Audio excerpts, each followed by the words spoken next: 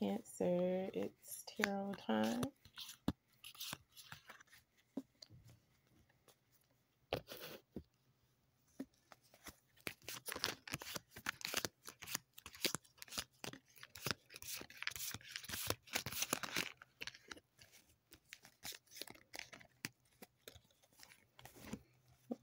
these are the two cards that came up.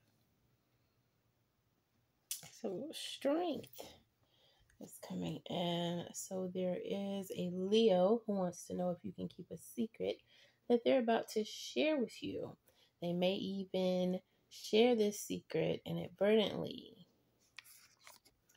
There is also a Taurus, Capricorn, Virgo person who feels shocked by your truthfulness.